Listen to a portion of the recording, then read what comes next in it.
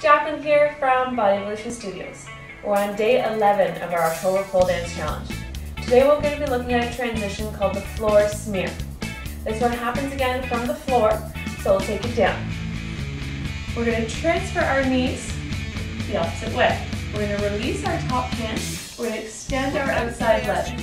We're going to lean back in a falling motion to take it to the floor. Coming down here. What it will look like if you were using it choreography. I like to use this transition with our chair spin. Taking it all the way down to the ground, transferring knees, releasing the hands, Please, if you have any questions, just put them in your comments.